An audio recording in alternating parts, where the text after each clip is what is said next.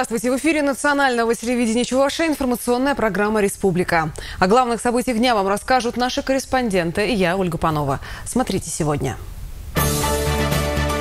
Запаха нет. И на данный момент, я говорю, горожане Новочебоксарска, вот по нашим данным, жалко именно в этом году в части запаха к нам не поступало. Надеемся, что и впредь, и уже постоянно это забы... тема запаха мы забудем. Заработала новая технология на биологических очистных сооружениях. Без воды ни туды, ни сюды. Песок там все равно. На дне ведра остается и ведро желтое делается. Его приходится отмывать. В столице Чувашии семья осталась без источника воды. Цветы любимому городу. Мужчинам положено посадить дерево, а нам, наверное, это цветы. Молодые люди посадили цветы у памятника чувашскому поэту. Начнем выпуск с новостей медицины. Кардиохирурги Чувашии вышли на новый уровень. Впервые в нашей республике проведены 7 операций по исправлению врожденных пороков сердца у детей от 2 до 10 лет эндоваскулярным методом. Мастер-класс провел профессор Братиславского детского кардиологического центра Павел Гавара. Чтобы было понятно всем, а не только специалистам, эндоваскулярный метод заключается в том, что при операции не вскрывают грудную клетку, а все манипуляции осуществляют с помощью зонда, введенного через сосуд. Невозможно делать все пороки, которые, как я вам уже сказал, их, я не знаю, более чем 100 разных видов. Но самые частые, которые находятся в популяции детской, это есть дефект между предсердной перегородки, открытый э, артериальный проток и дефект между желудочковой перегородки. Они занимают почти 50% или больше всех врожденных пороков. Из этих всех мы можем закрыть около 70%. Очень здесь мне понравилась вся команда, очень хорошие специалисты, именно анестезиологи очень мне понравились и наши коллеги, коллеги эндоваскулярной хирургии. У них опыт есть большой, но с детьми как бы еще не работали, поэтому сначала я пришел как бы помочь, но без проблем они будут делать сами дальше. Спустя сутки после операции больные чувствуют себя хорошо. В этом убедился и глава Чуваши, который приехал лично поблагодарить медиков и пожелать здоровья маленьким пациентам. Будьте счастливы всегда, чтобы любили и делали добрые дела. Для дальнейшего развития высокотехнологичной кардиохирургии необходимо совершенствование материально-технической базы, а именно новый кардиохирургический корпус и новое оборудование. Гибридные операции, все это реально. Главное, что это реально. И в России это работает, и специалисты есть, и наши специалисты хотят. Дают отвечу. Гибридную операционную сделаем. Мы даже пытаемся во время операции того, что не было, шунтографию, да, заводить из того, что у нас есть, собрать. Сегодня оснащение Чебоксарского кардиоцентра позволяет оказывать качественные медицинские услуги. Но надо смотреть в будущее. Михаил Игнатьев заметил, развитие здравоохранения – один из приоритетов правительства. Сейчас строится новый корпус для онкодиспансера, на очереди большая поликлиника в центре столицы. Но надо подумать и о кардиохирургическом корпусе. По мнению главы Чуваши, под этот проект вполне возможно привлечь и частные инвестиции, и внебюджетные источники. Таких примеров много. Кстати, кстати, и сегодняшние операции стали возможными благодаря поддержке благотворительного фонда «Линия жизни». Елена Гальперина, Андрей Шоклев, Андрей Спиридонов, Республика. Несколько лет подряд жители Новочебоксарска жаловались на дурной запах в городе. Особенно при восточном ветре и пеняли на биологические очистные сооружения. Все это осталось в прошлом.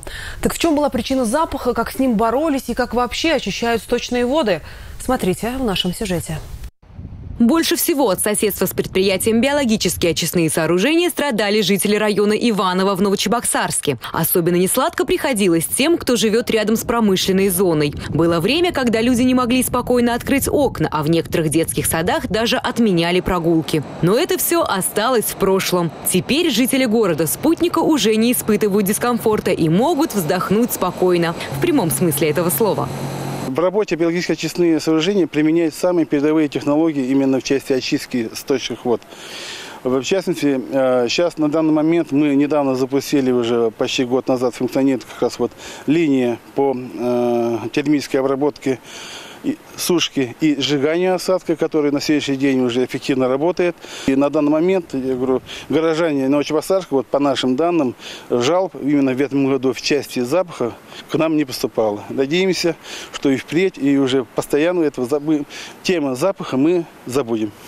Обезопасил Новочебоксарск от неприятных запахов новый комплекс термической сушки. Вот это вот осадок стоящих фрот, как раз до обработки получается центрифугой. То есть вся грязь, которая поступает к нам, убирается оттуда вода и в виде грязи поступает на центрифугу. Вот. После этого, после поступления центрифуги, мы его еще высушиваем. Остается примерно 20% влажности осадок. Вот после центрифуги уже. После идем, уже начинаем сушить. Это уже получается осадок высушенный на, на сегодняшний день как вы здесь видите, уже э высушенный осадок в виде гранул поступает к нам. И вот это гранулы направляем в печь на сжигание уже получается, получается зола, маленькая зола. Умещение их объемов примерно 100 раз. Главным виновником зловоний были осадки сточных вод, которые накопились за несколько десятилетий. Так называемые иловые карты.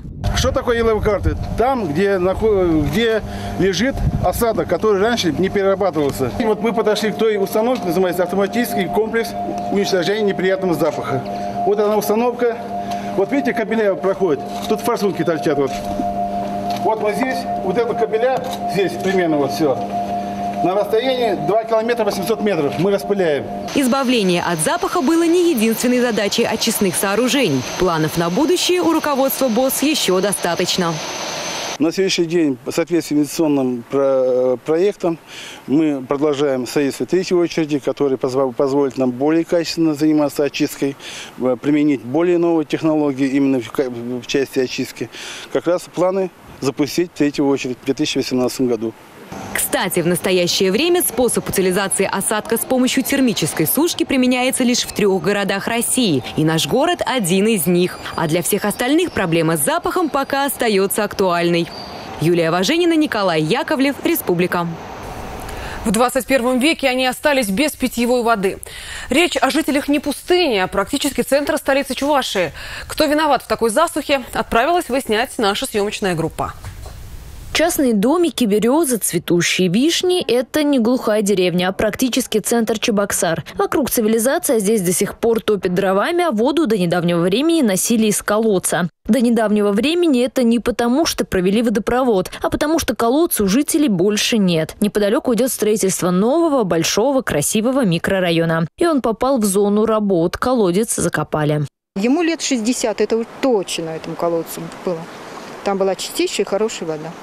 Мы пробовали у себя вот делать колодцы. Там уже застойная вода, зеленая, нехорошая. Нам застройщик предлагает, вот давайте мы вам выкопаем вот колодец, поставим кольцо. Но опять же, мы же знаем, что будет застойная вода. Мы не согласны на это. Мы просили их провести трубу. Это когда только-только началась стройка. Они сказали, невыгодно.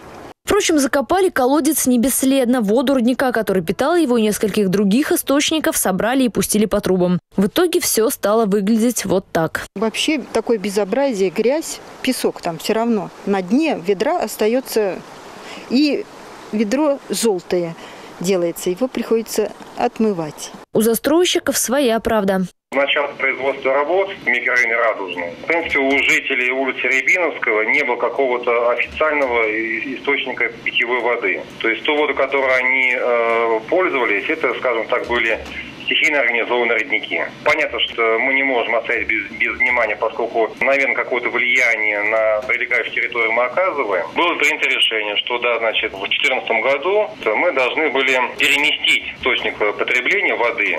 На сегодняшний день э, этот, значит, источник, он организован. Ну, скажу прямо, пока он во временном варианте. Срок до 1 июля. К этому времени источник планируют переместить за пределы застройки микрорайона и обустроить. Судя по всему, пока это единственный вариант. Ведь пострадавших в этой истории немного. Из жителей осталась только Валентина Петровна с мужем, чьи-то дома попали под снос, остальные съехали и участки используют в качестве дачи. Женщина говорит, была бы рада, если бы их дом тоже снесли, а ее с мужем переселили в квартиру. Однако в зону строительства участок не попадает. А ради двоих людей всерьез заниматься водоснабжением района, вероятно, никто не будет. Ольга Пырочкина, Сергей Рябчиков. Республика.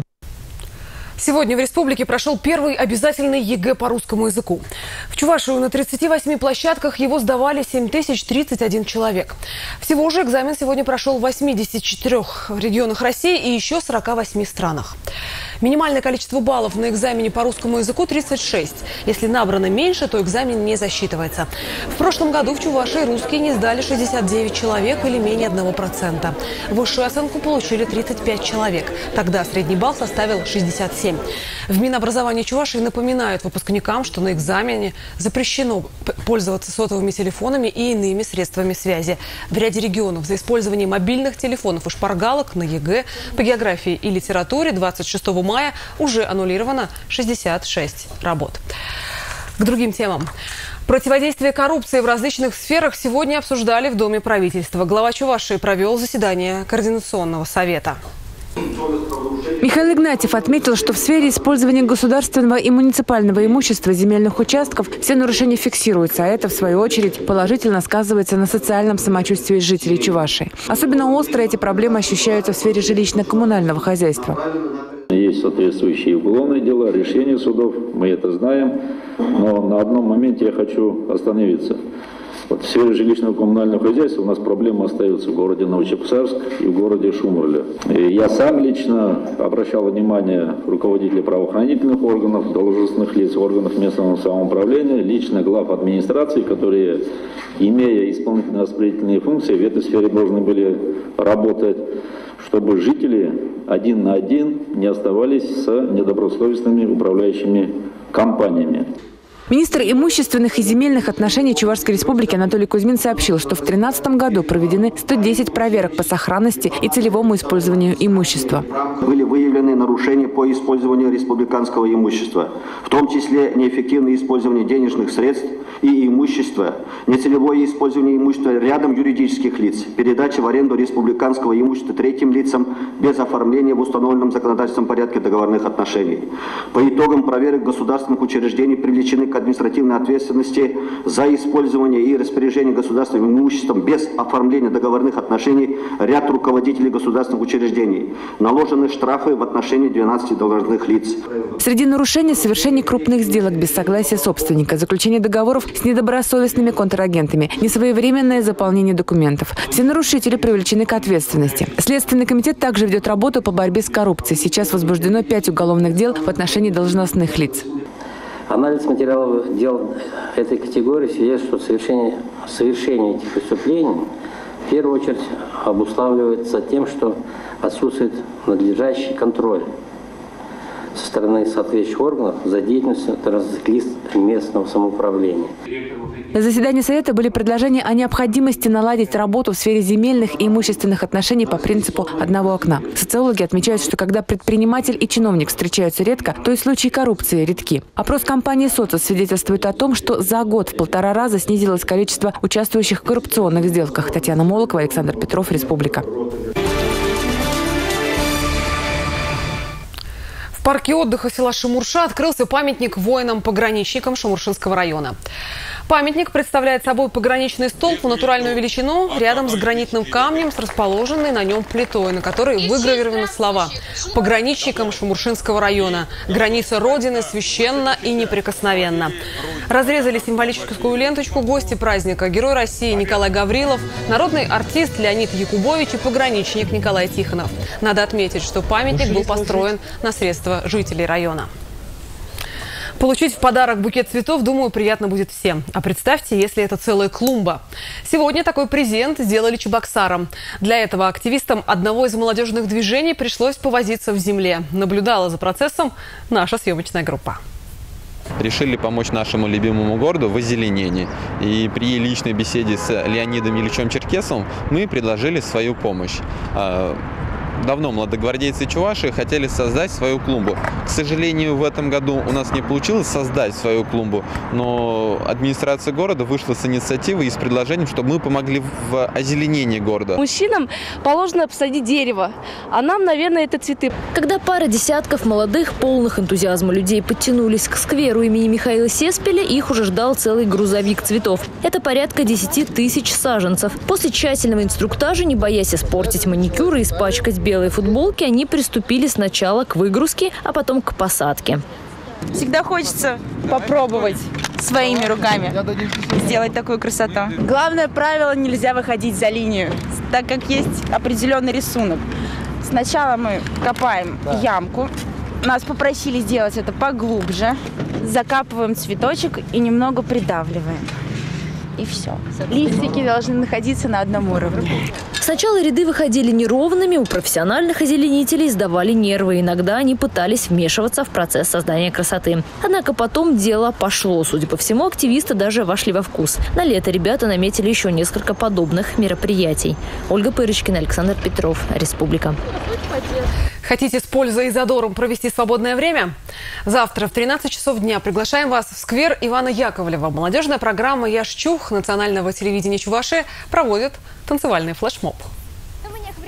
Вас ждут зажигательные летние хиты исполнителей чувашских песен. В исполнении участников проекта «Ротация» Константина Рязанова, Алисы Чайниковой и Олеси Кузнецовой. Порадуют своими композициями вокальная эстрадная студия «Мечта» и другие творческие коллективы. Приглашаем всех принять участие в течение часа танцевать вместе с нами. Не пропустите самое важное событие в преддверии Дня защиты детей. Осталось совсем немного времени. Ну а пока учите движение.